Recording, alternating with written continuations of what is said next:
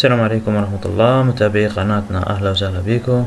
بحلقة جديدة ووصفة جديدة رجعنا لكم اليوم بوصفة لكل متبع نظام حياة نظام صحي بوصفة ذات قيمة عالية قيمة غذائية. إن شاء الله تلقوا فيها الفائدة اللي أنتم تتمنوها اللي هي فاصوليا حمراء بصدر الدجاج. فأهلا وسهلا بكم مشاهدة ممتعة نتمناها لكم. بالبداية عنا حلة على النار فيها لترين مي معلقة من زيت الزيتون الزيتون بيساعد إنه بيعطي لمعة للفاصوليا وبيعطي إنه الطنجرة بنحافظ على المعدة ما يتغير لونه هون عندي فاصوليا يابسة منقعها أنا عندي من أربع خمس سنين. بنضيفها على المي وبنحطها بنستنى عليها لتأخذ السوى المطلوب. ممكن أنا لو مستعجل بطبخها بحط بضيف عليها معلقة من آه، كربونات الصوديوم بتساعد انها تستوي بسرعة. هون في ملاحظة إنه آه، كل 100 غرام من الفاصوليا الحمراء بتحتوي على 23.68 بروتين وعندنا بتعطينا دهون 0.5 منخفضة الدهون جدا. سعرات حرارية 100 سعر حراري لكل 100 غرام. نتركها لتستوي وبنرفعها على جنب. وهون عنا صدر دجاج شريحتين من صدر دجاج. بنضيف عليهم ملح خشن بنتبلهم فقط بملح. نقلبهم هلا الجنب الثاني ونفس الشي بنضيف عليهم الملح. ما شرط نوع الملح بس أنا المتوفر عندي هو ملح خشن. هلا بنجيب شرا... كم ورقة من البقدونس؟ نفرمهم بشكل ناعم.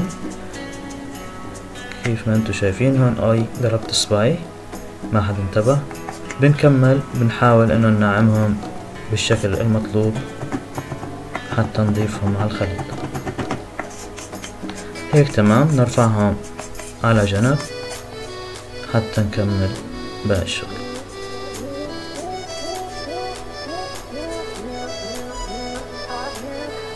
هذول كانوا واقعين معلش بنجيبهم. هلأ عندي طبق فيه بقسماط طبق فيه طحين وعندي معلقة من النشا. هلأ أنا تبلت البقسماط بمعلقة من الطحين وباربيكيو وبودرة ثوم وشوية ملح. هون عندي معلقة من النشا بضيفها على الطحين طحين سادة ما عليه أي شي هاي الوجبة ما فيها بهارات كتير قلنا بس باربيكيو وملح وبودرة ثوم هون أنا ضفت البقدونس على البقسماط حركهم حتى يتجانسوا مع الخليط. وهلأ عندي بيضة بكسرها هون بضيف عليها شوية ملح. وبحركها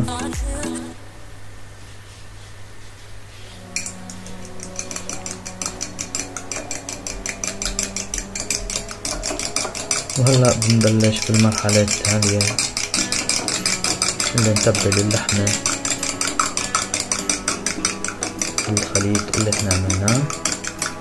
هون أنا حاولت إنه انضج الصفار بالبياض بشكل كويس.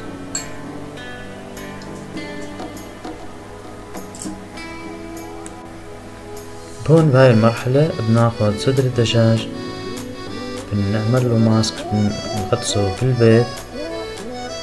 أول شي في البيت بعد هيك بناخده على الطحين نتبله بشكل منيح بحيث إنه كل جزء من اللحم يتغطى بالطحين بالنشا.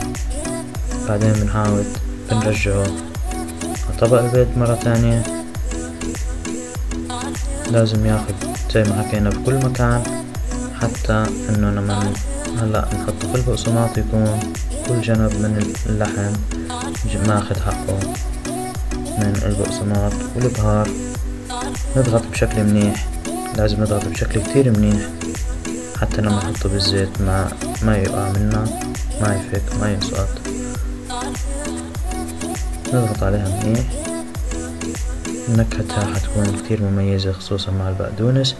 هون بنقول إنه صدر الدجاج بنكرر طبعا هون نفس الحركة اللي عملناها بالقطعة الأولى وبنقول إنه صدر الدجاج غني جدا بالبروتين. أول شي عنا سعرات حرارية صدر الدجاج سعرات الحرارية مش عالية مية لكل مية غرام صدر دجاج في عنا مية وواحد وثمانين سعر حراري.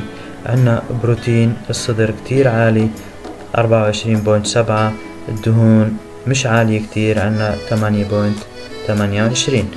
هلأ هون بنعمل نفس الشي في البقسماط حتى إنه كل جزء مثل ما قلنا ياخد من البقسماط وياخد من التوابل ياخد من النكهة وبنضغط كتير منيح حتى ما توقع وبهيك بكون هاي المرحلة خلصت.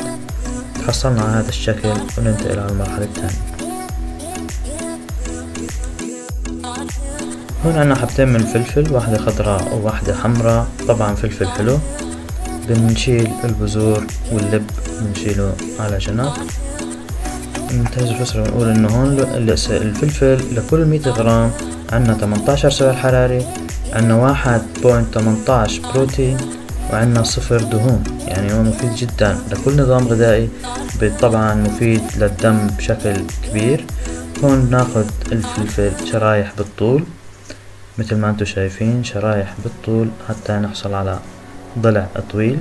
بعدين نعمل مكعبات نقطع بالعرض لنتحصل على مكعبات متشابهة متساوية تقريبا. وهلأ بنحطهم على جنب وبنجيب الفلفل الخضرة. نقطعها بشكل مختلف نوعا ما نفس الشي هنقطعها من النص. ونشيل منها اللب والبذور. نحطهم على جنب. والقطعة التانية نفس الشي وهلا برضو هناخدها بالطول بدون أي اختلاف.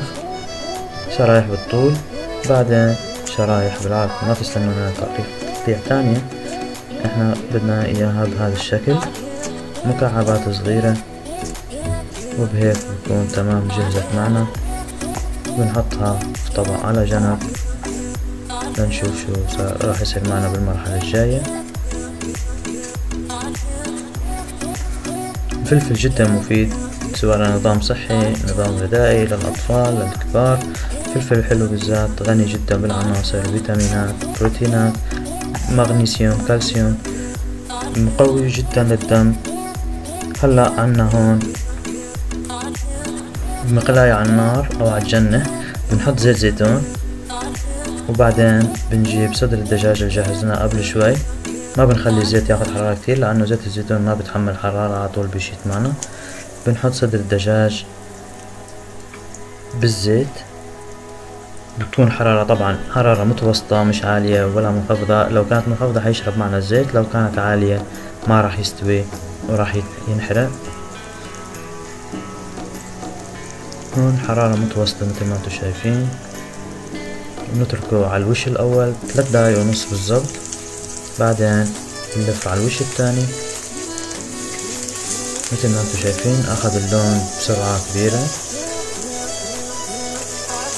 هون بطلع كتير كريسبي من جوا كتير جوسي ما ناشف. هون على الوش التاني طبعا نفس الشي ثلاث دقايق. بعدين بنلفه للمرة الثانية لهون دقيقة ونص دقيقة ونص. لكل وش مش أكتر من هيك. هون أنا بالوش الثاني نزلت الحرارة لأني كنت بدي إنه يستوي من الداخل. وبهيك بيكون جاهز. ونجهز هون الفاصوليا. حطينا عليها ملح وحطينا عليها معلقة من الكمون وبنجيب الفليفلة اللي جهزناها قبل شوي. برشها على الوش بدون أي إضافات بدون أي شي مثل ما قلنا إنه هي الفليفلة ما محتاجة أي إضافة هي غنية بكل العناصر. بنجيب هون كمان معنا نص ليمونة. وبنجيب قطعة الدجاج اللي جهزناها قبل شوي. نضيفنا شوي من ورق البقدونس المفروم. البقدونس طبعا بعطي شكل وبعطي نكهة كتير منيحة وهيك بكون الطبق جاهز وألف صحة وعافية إن شاء الله بيعجب إعجابكم وبهيك وصلنا للشكل النهائي لطبق اليوم. دجاج لونه كتير كتير مميز من جوا كتير جوسي من برا كريسبي طبق كتير مفيد صحي غذائي قيمته كبيرة عالية لكل شخص يتبع نظام غذائي نظام صحي راح يستفيد من هذا الطبق كتير ألف صحة وعافية كل عام وأنتم بخير انتظرونا إن شاء الله أطباق ووصفات جاية كل عام